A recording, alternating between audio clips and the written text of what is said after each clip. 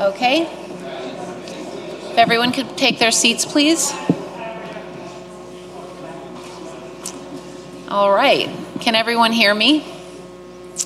All right, well, so good afternoon and welcome everyone. Thank you so much for being here today for the installation of Professor Jeremy Goldbach as the Masters and Johnson Distinguished Professor in Sexual Health and Education.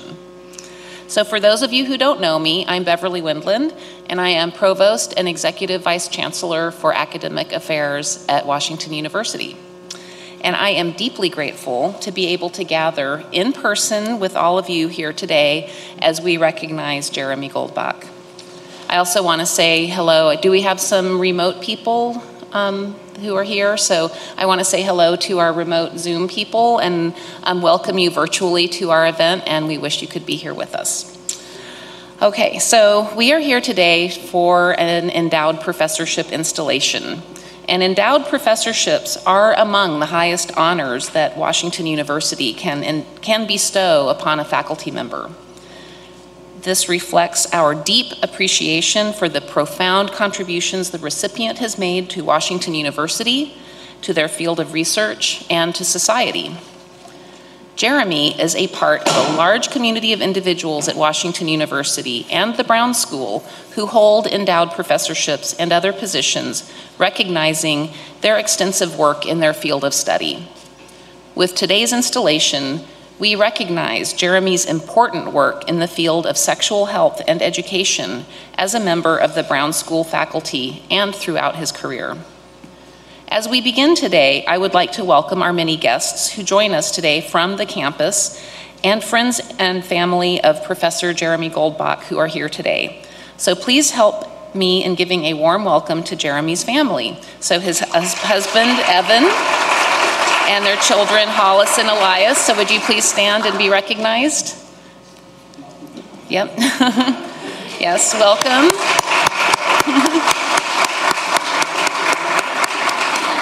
And we have um, Jeremy's mother and in laws are here. So, where are they? Oh, they're streaming. Okay, well, hello, welcome.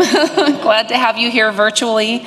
Um, and Professor Goldbach is also joined today by many of his university colleagues, family, and friends, both in person and others that are celebrating along with us virtually today. I'm also grateful to see many familiar faces in the audience from our Brown School National Council who are great supporters for all of us. So, to celebrate today's installation of the Masters and Johnson Distinguished Professor in Sexual Health and, and Education, I am honored to be joined by Washington University Chancellor Andrew D. Martin. Um, we are supposed to have Vice Chancellor of Student Affairs Anna Gonzalez. I think she must be running late. Um, and we have our interim co-deans of the Brown School, Tanya Edmond and Rodrigo Reyes. So very pleased to have these distinguished um, fellow administrators here with me today. So, the research, advocacy, and academic ende- endeavors at the Brown School and Washington University have had an impactful history of advancing positive change in St. Louis, across the nation, and throughout the world. This distinguished professorship recognizes an important part of that history the research and work of Dr. William Masters and Virginia Johnson at Washington University their legacy lives on through this professorship and the continued academic focus on sexual health and education at the Brown School. The Brown School has the only specialization of this kind within a Master's of Social Work program, and it has become one of the most popular offerings, preparing our students for careers as sexuality educators, advocates, policymakers, program administrators, and therapists, and for critical and holistic social work practice that recognizes the links between sexuality and social and health disparities. We are so proud to have this work at the Brown School and at the university.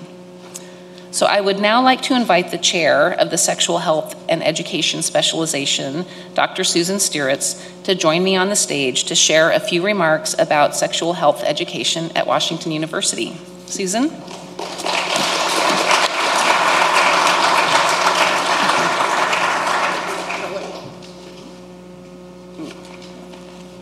Thank you for all your support of our program. We really appreciate it. So my pronouns are she, her, hers. Um, and I'm glad that I've been invited to say a few words. I appreciate the opportunity to contextualize Jeremy Goldbach's appointment and comment on its enormous significance. I'm sure I speak for most of you when I express great alarm over escalating conflicts created by disparate sex, gender, and racial values, norms, laws, and cultures in this country. Ignorance over what is scientific fact and what is social construction seems to be part of the problem, narrowing access to human rights. Abortion, sex education, clinical sexual health services, classroom lessons, novels, and other books discussing sexual diversity and bathrooms are part of the collateral damage. So are the lives of many. Suicide is the second largest cause of death of children, adolescents, and young people. People in a sensitive per- period of sexual unfolding. People particularly vulnerable to minority stress, which makes them feel unwanted and burdensome. So here's where Jeremy Goldbach comes in. He has spent the last decade or more developing positive, scientifically validated antidotes to heterosexist myths that undermine good sex for everyone and spoil our sexual culture. Jeremy, do I, is it okay if I call you Jeremy, Professor? Jeremy's research and intervention, proud and empowered, builds on the strength of love rather than on the strategies outrage fosters. As a person who chooses collaboration over confrontation, his intervention is creating more illumination than heat. His intervention demonstrates how young people can connect with each other better by ignoring straight gay binaries that disconnect them. If I'm reading Jeremy's work correctly, his LGBT teen participants process minority stress that has diminished them as they learn to create and implement everyone wins collaborative, experiential sex education and social justice training for their straight as well as LGBT peers. Jeremy's participants go through a 10 week training session then pledge to offer similar interventions of their own design in their schools, churches, and other organizations. When they share with their peers the, the, their versions of the best sex, gender education, and affirming um, experiences available in this country, an amazing transformation takes place. Because their untutored peers have been yearning for this kind, this real sex education, rather than the adultist, fear based, controlling sex education they have been getting. Their heterosexist skepticism wanes and profound gratitude and admiration develop for their LGBT peers and their allies. The revisionary knowledge and skills the peer educators share with them become a basis for new solidarity. Jeremy's faith that young people want to get along, want to become effective change agents, and want to make the world a better place is getting results. Well, this is a long introduction. To explain this afternoon marks a lost le- legacy, legacy at Washington University, refound. That of critical sex research and pleasure restoring therapy, which Masters and Johnson introduced during the 1950s and 1960s here at Washington University. Jeremy and his team's work, like Masters and Johnson's, exposes and corrects false assumptions about best practices in good sex. Uh, Jeremy's initiated a paradigm, Masters and Johnson initiated a paradigm change in our sexual culture, and I think Jeremy is doing the same, along with others in the field who have been working on this for 50 years. Masters and Johnson's research, among other things, busted Freud's early 20th century heterosexist myth that the vaginal orgasm, not clitoral pleasure, constituted mature, healthy female sexuality. While Masters and Johnson depathologized women's pleasure, uh, Jeremy and his team depathologized same sex lovers' pleasure and relationships. He and his colleagues in the field make clear that consensual LGBT sex is every bit as normal and healthy as consensual, uh, consensual straight sex. That, heter- that heterosexism is an oppressive regime, not an innocent sexual preference. This perspective can go a long way toward eliminating the homonegativity that harms people. My colleague from the School of Law, Susan Appleton, and I have been working since 2009, 23 years. Is that right? I think so. To restore Masters and Johnson's legacy lost to Washington University in the 1980s.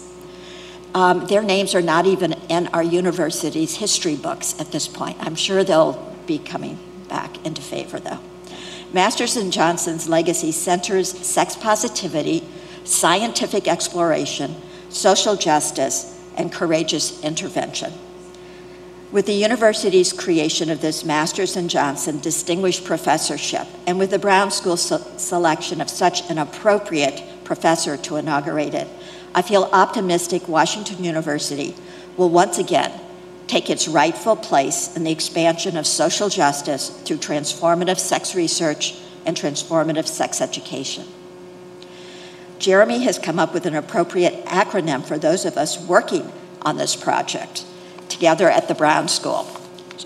SERG, SERG, S E R G. We are the Sexuality Education, wait a minute, Sexuality Education and Research Group. Yes, and Research Group, an arm of our school's pursuit of social justice. I'm always hard, have a hard time with acronyms. So um, now is the time to thank you, Chancellor Martin, uh, our former provost, Holden Thorp, our current provost, Beverly Wendland, our former deans, Mary McKay and Eddie Lawlor, our co-deans, Edmond and Reyes, faculty and students of the Specialization in Sexual Health and Education, sexual education and research group members, members of the Brown Schools Alliance for Sexuality and Reproductive Freedom, and today, especially you, Jeremy, who, who have come here to help heteronormativity get over itself and to affirm all young people's entitlement to pride and empowerment, especially to sexual pride and empowerment. Um, you all make palpable commitment to the truth that there is no sexual health without social justice. Thank you very much.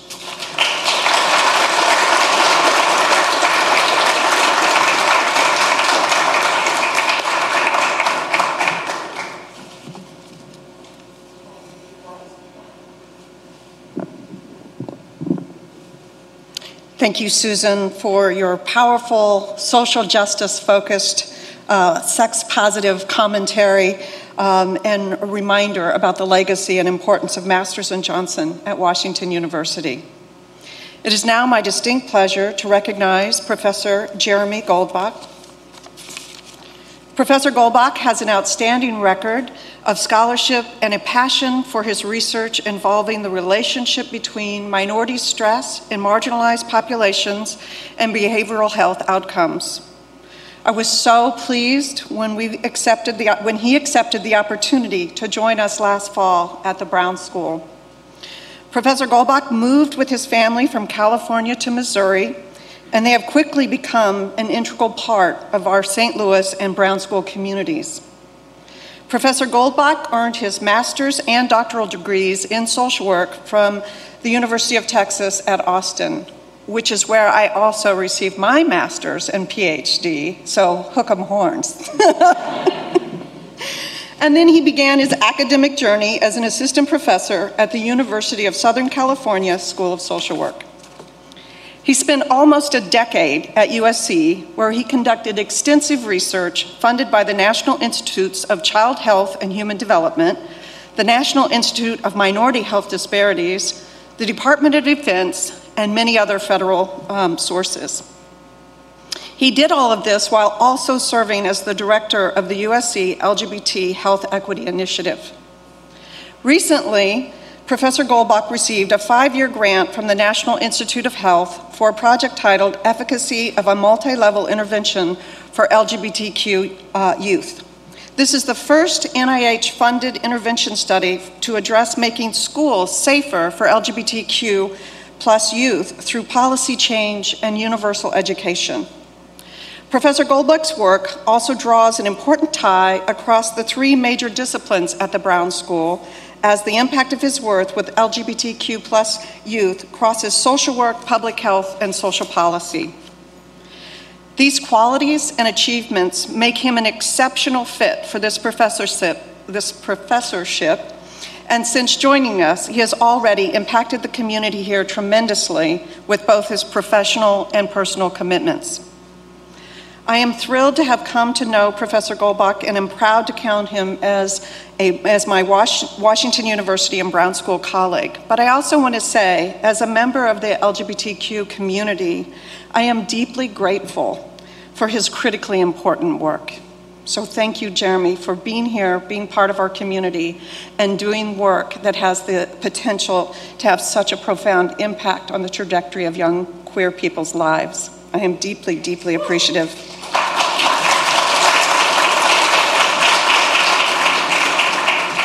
At this time, I have the pleasure of inviting our Chancellor, uh, Chancellor Martin and Professor Goldbach to come forward and proceed with the installation.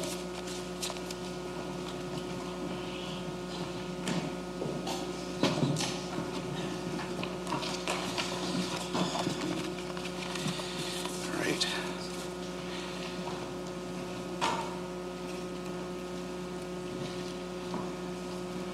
Jeremy T. Goldbach, I officially name you the Masters and Johnson Distinguished Professor in Sexual Health and Education.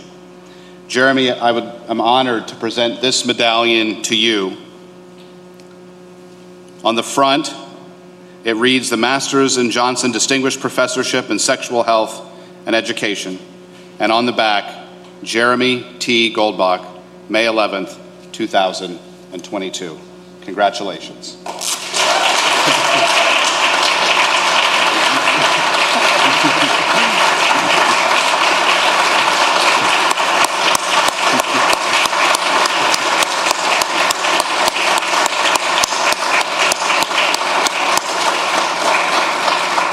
It is now my sincere pleasure to introduce Jeremy Goldbach, the Masters and Johnson Distinguished Professor in Sexual Health and Education, who will present his chair address, Let's Talk About Sex, because the silence is killing me. Jeremy, congratulations.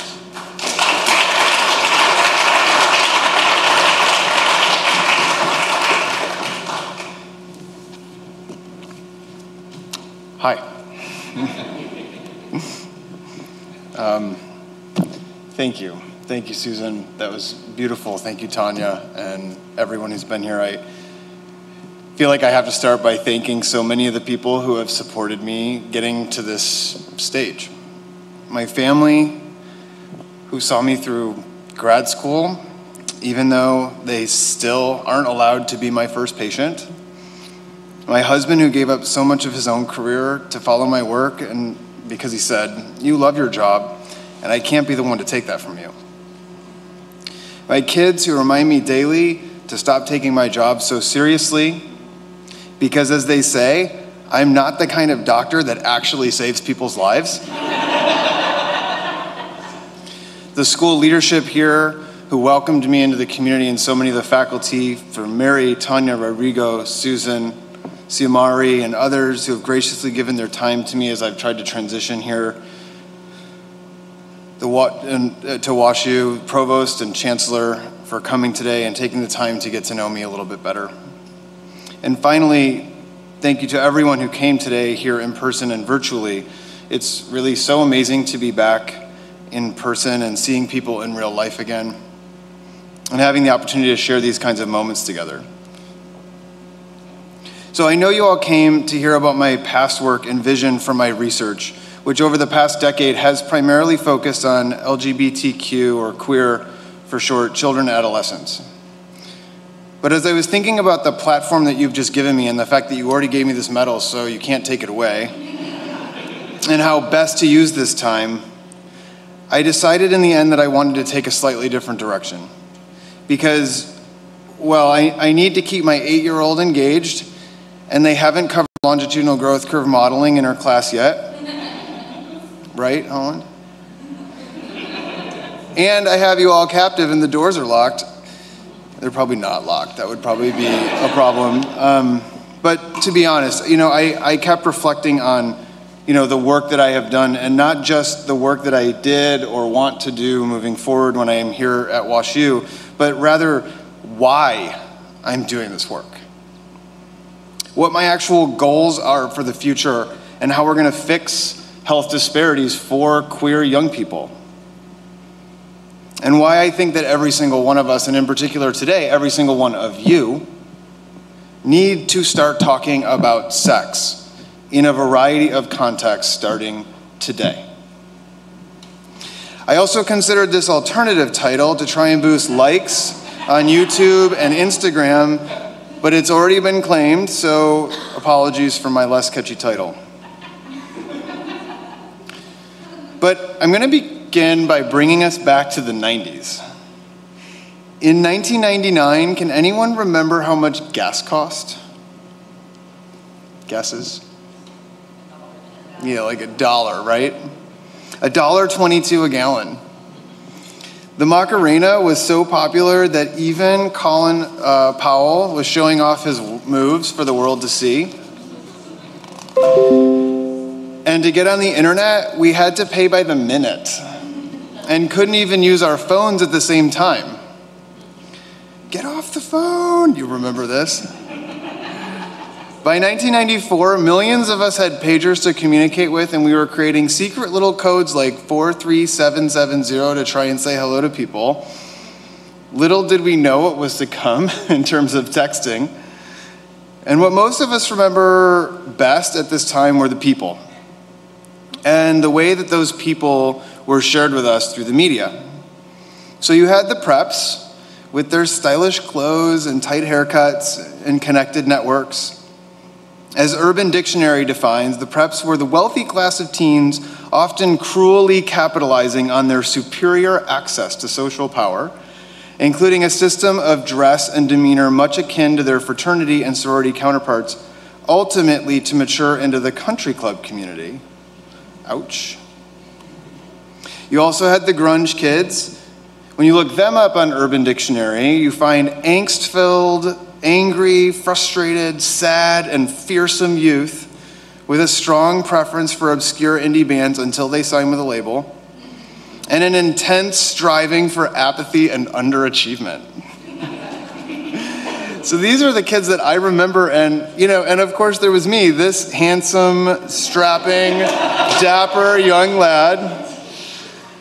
Oh wait, sorry, that's actually Marlon Brando, but we can look at this for a second. I feel like this is nice.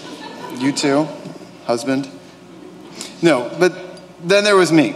This strapping young, I mean, awkward, self conscious, confused young kid trying to figure out my place.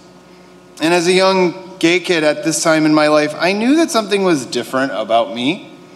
But I didn't even really have the words at the time to make sense of it. Because this notion of sexuality is really complicated. I mean, what does it even mean, really, to be gay or lesbian or queer? Now that I'm older and I've spent a lot more time thinking about this, I know that sexuality and gender and gender identity are really complex and they're independent, but they also intersect and interact and help us make sense of the world around us and who we are and where we fit. Sexual identity, for example, is made up of all of these factors, like who we're attracted to, who we engage in relationships with, both romantic and sexual or not, how we identify. This was really confusing to me as a kid because, you know, while the invention of the bromance was a really nice way of allowing us to express maybe some level of attraction to other men through close friendships, behaviors and identities outside of the dominant heteronorm were definitely not allowed. Then, when we add gender to this mix, it makes for an even broader spectrum of identities and perspectives and interactions with the built environment that I, for one, did not feel was built for me. And just to remind everyone, we were still in the land of pay by the minute internet. So we just had to kind of submit to the notion that information was just too hard to get. So we may as well just stop trying and focus on the things that really mattered, like going to the mall. Because at the mall, you could do almost anything. You could get your ears pierced at Claire's, sometimes without your parents knowing. Well, then they found out later. You could buy Manic Panic hair dye at Hot Topic, also without your parents knowing. You could go to those massage chairs at Sharper Image. You could buy those really weird tasting creamsicle smoothies at Orange Julius. There was something for everyone at the mall. But for me, it was really Sam Goody that I poured myself into because music was where I always found myself in the words to push boundaries that I didn't even really understand existed. Now, to be fair, at the time, I didn't really appreciate the long standing relationship that music has to controversy. From the social justice, social and racial justice movement of the 1930s, when Billie Holiday was protesting lynching in Strange Fruit, to Madonna being protested by the Vatican and Boy George's fluid gender presentation that my parents consistently told me was what happens when you do too many drugs. But at this particular time in history, it was all about Salt-N-Pepa. And their new single, Let's Talk About Sex. And I had heard about this song from my friends at school who were singing it quietly in the halls. And the speed with which they would cut off their singing when a teacher walked by let me know that there was something about this song that needed to be kept very quiet which also let me know that it was something that I absolutely needed in my life. Even though I hadn't even really heard more than snippets. So, on this one day in history, I remember consigning myself to purchasing the single at the store. I remember it like it was yesterday. I picked up the cassette, yes, cassette, walked through the store to the counter. I knew that this album had that mature audience's rating on it, so I knew that I had to act real cool and have a very short interaction because the difference between have a good day and are your parents here to approve this purchase could be dramatic. Thinking fast, I also grabbed a Gordon Lightfoot tape to help ensure that they would see me as a very sophisticated and definitely old enough to buy this tape age. Palms sweaty, I approach. Good afternoon. Seems very adult.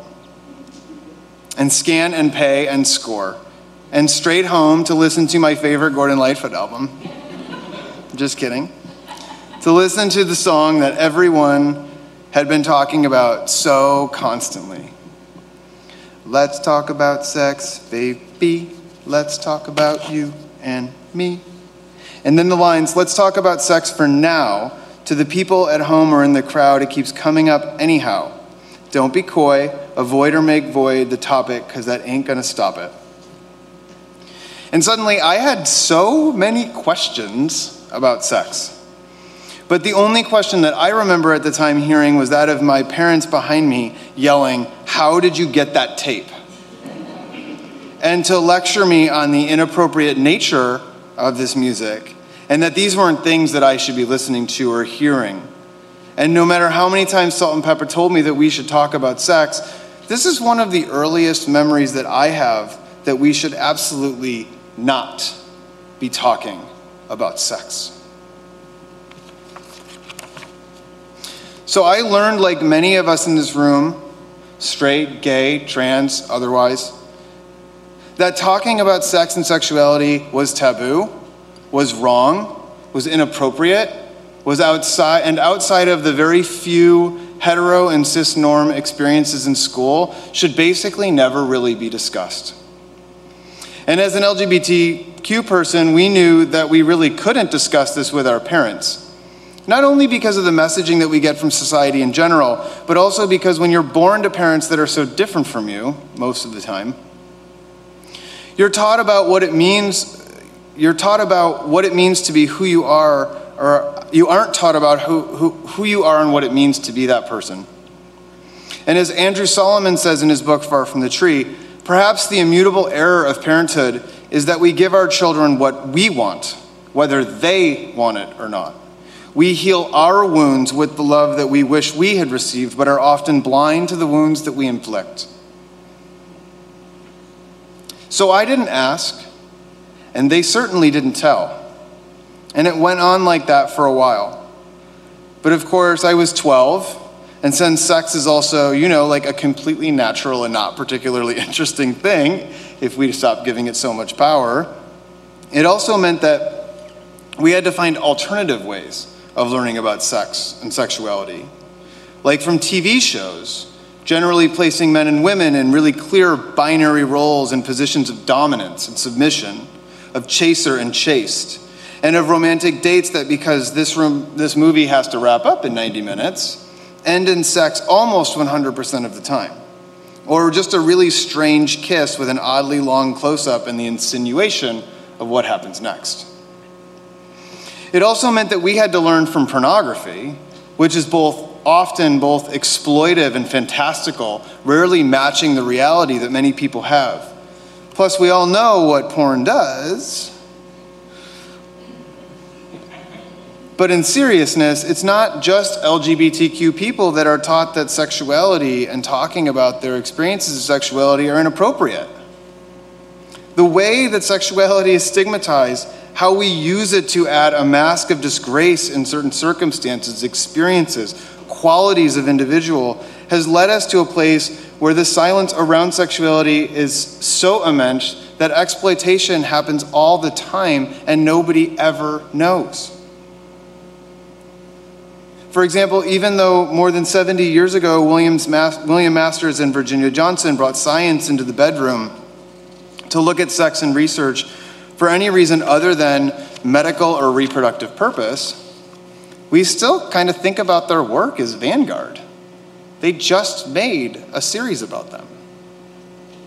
Even today, and even though it was more than 40 years ago that Dennis Dailey introduced us to these circles of sexuality with more than 25 components, we still find ourselves only openly able to openly discuss a small fraction of these components like body image, maybe, the media, love, reproductive systems, biosex, uh, sex assigned at birth, gender roles. And yeah, we've made some modest progress in discussing these components of sex and sexuality in public spaces and are working to address their impact.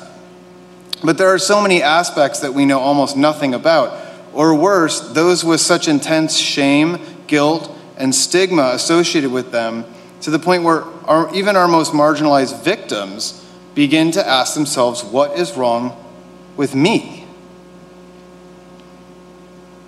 And this push towards silence has rippling effects in how we live in every aspect of our lives. For example, if consent starts with a conversation and we're never taught how to speak or taught to feel shame when we do speak, then what does that mean for my ability to negotiate consent? Or a salary at a new company?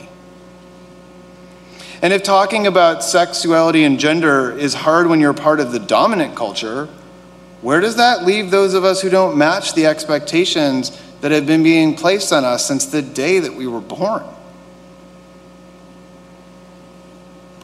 Well, for LGBTQ people, the messages from general population about our sexuality and our gender identities is quite clear.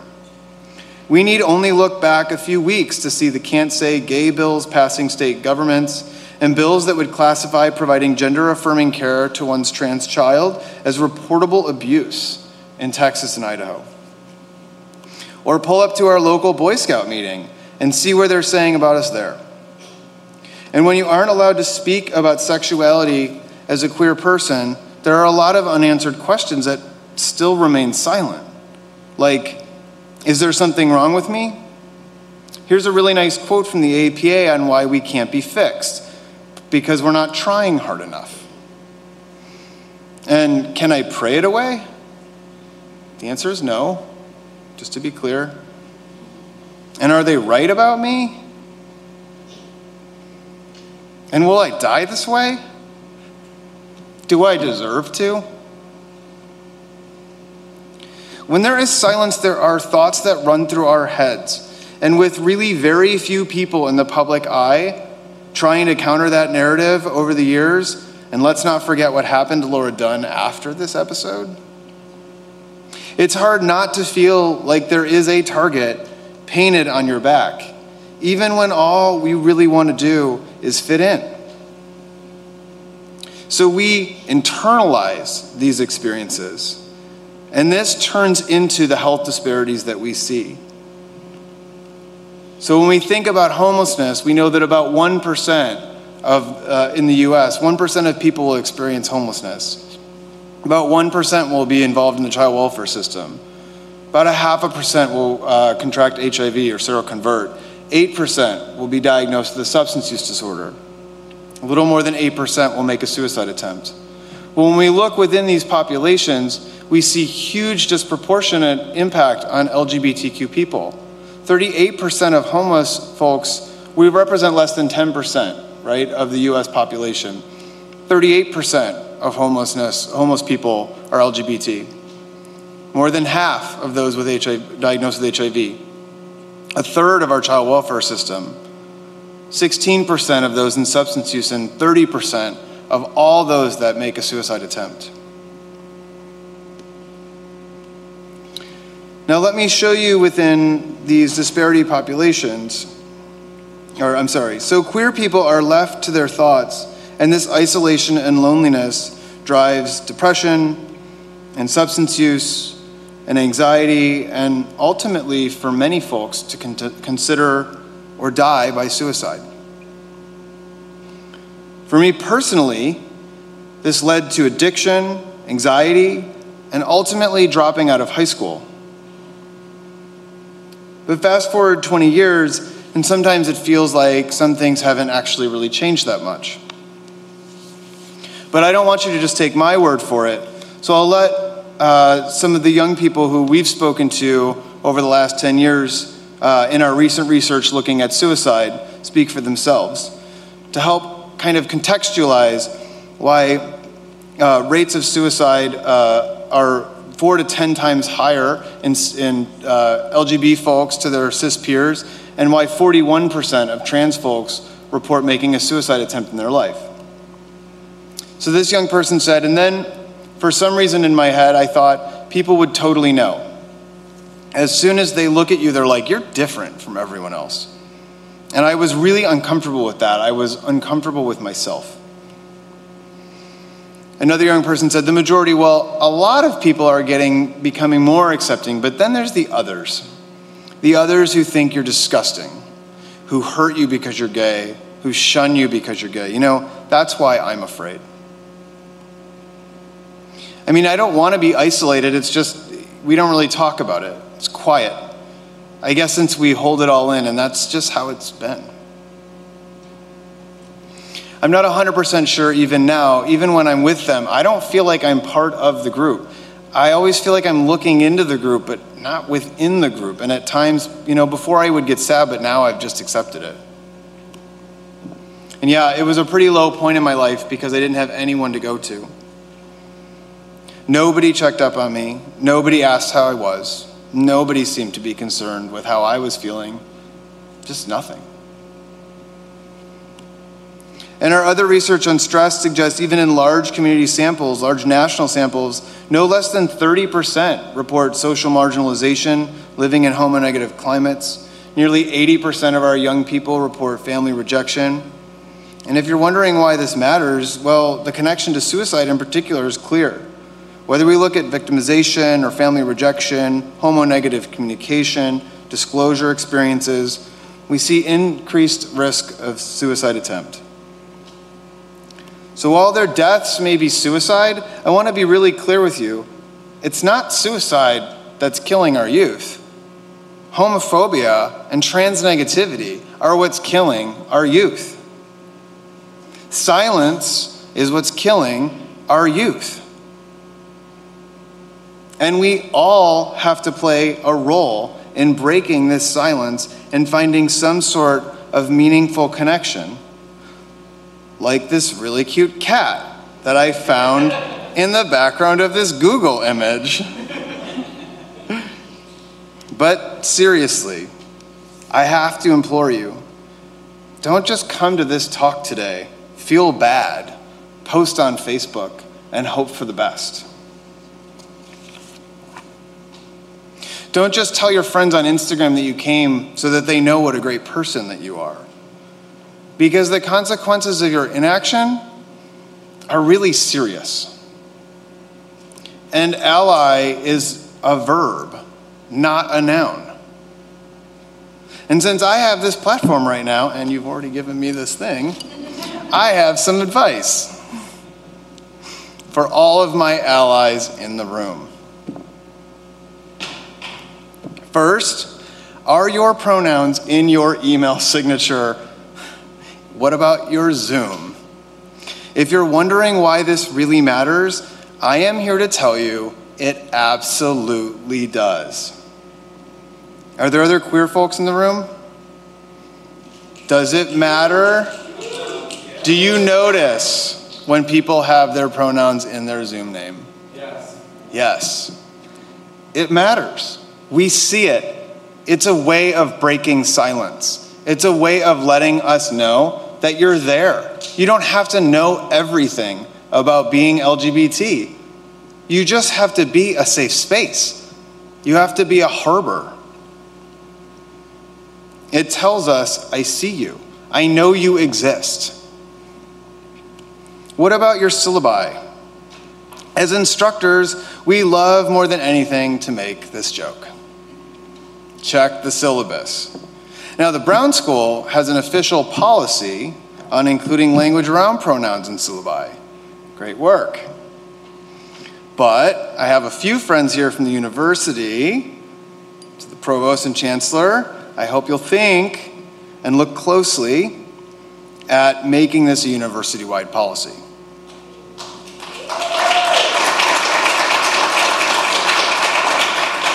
Have you been through safe space training? The Brown School has all faculty go through safe space training. Many other schools in our university do as well. I'd love to see this become universal. You can find it for free. There are many folks at the Brown School who are happy to do this for you. Can we make this universal in our commitment to equity, diversity, and inclusion, which is both in our school plan and our university one? How about equal access to university-wide, university-wide to restrooms so that every building in this school, in this university, has a place where people can do their biological functions? Even if you feel comfortable in a binary restrooms, these signs send a message, set a tone, and change the norms and break the silence. Yes, it may take a little bit of work to get some of these amazing historic buildings in order, but this is one of the best universities in the entire world. Are we really willing to say that we can't figure out how to change a sign or retrofit some spaces? I agree that its history is that history is what brought us to this problem. We just may differ on whether we interpret that history as a good thing or a bad one. How many of you in this room engage in research? I implore you, if you don't do LGBT research, take a look at your study variables. Do you include comprehensive measures of sexual and gender identity in your studies? We ask about lots of demographics now, including highly invasive questions around poverty and socioeconomics and access to free lunches and intense questions about people's racial and ethnic identities. And yet, still, I see every day the lack of attention to LGBTQ identities because it's not really relevant to our study, or it just feels too sensitive to ask. But let me tell you directly not only does not asking about these identities render people's experiences invisible, it's also honestly kind of bad science. Because our EPI data shows us very clearly that these communities are at heightened risk for a ton of behavioral health outcomes, as I've shown already. So if our studies are not accounting for that as a critical uh, covariate, we may be missing the boat on what's actually going on for our research participants. And it's not just me that says this. The National Academies of Science, Engineering, and Medicine agree, and they've recently cons- uh, created consensus reports to help guide us on best practices. So, my point is yes, changing school, city, county, state level policy is really important. And I hope all of you will support these efforts too. But changing social norms also starts with individuals in this organization and those of you right here in this very room and on Zoom. And let me tell you, I've seen what just a simple conversation from a single supportive other can do to change the trajectory of LGBTQ youth's lives. Like those who have spoken to us from the Trevor Project after they had uh, called uh, a crisis, for crisis support after considering suicide. I'll let them speak for themselves. I'm still here. I'm not sure exactly what would have happened if I hadn't called. They helped me by telling me that I have value and I am not worthless. It helped me by being able to know that other people are understanding of my issue, that I'm not alone, even when I feel like I am. And I was able to calm down and think through my problems individually and feel safer in my own skin for a while. I stopped and I looked at my choices and I was able to cross suicide off my list of answers. So we know that there is hope. And if you take just one thing from today, please remember that all of us play a role in breaking the silence that we all carry, that we were born into around sex and sexuality and gender and identity and all of these things that are not shameful, but are beautiful and make us all unique. Because it's not even really about being lesbian or gay or trans or gender diverse. It's not really working for any of us. So, in the wise words of Salt-N-Pepa, let's talk about sex, baby. Let's talk about you and me. Let's talk about all the good things and the bad things that may be. Let's talk about sex. But please, seriously, go out there and talk about sex. Because the silence, it is literally killing us. And let's be honest, can you really say no to such a handsome young man? so, I want to thank you again for your time and this opportunity. To my study team that now spans multiple universities, thank you for continuing to push my thinking beyond my comfort zone every time, helping me to never get too comfortable or confident in my own ideas. To the thousands of you who have participated in our studies over the years, thank you for your constant reminders that I have absolutely no idea what I'm talking about, but also your patience to show me a better way forward.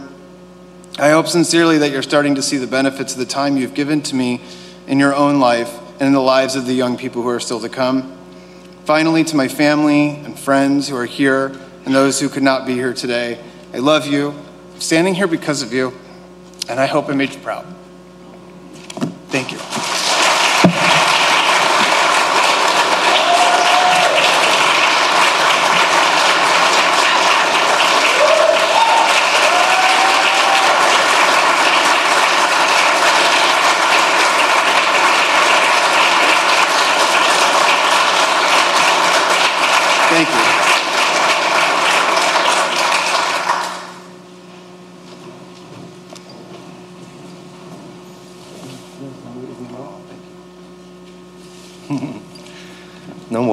Well, don't, don't, you worry. I don't have to say much. I just have to make my closing remarks. So, and Jeremy, thank you so much for not no, remaining silent. You are really, you are really not only saving lives, but you are elevating the school to a new level, and we are very grateful for you here. So I thank you all for coming for this uh, ceremony. Uh, thank you for all of those that are now seeing this somewhere in the globe. And I wish you all have a lovely uh, evening. Thank you so much for coming today.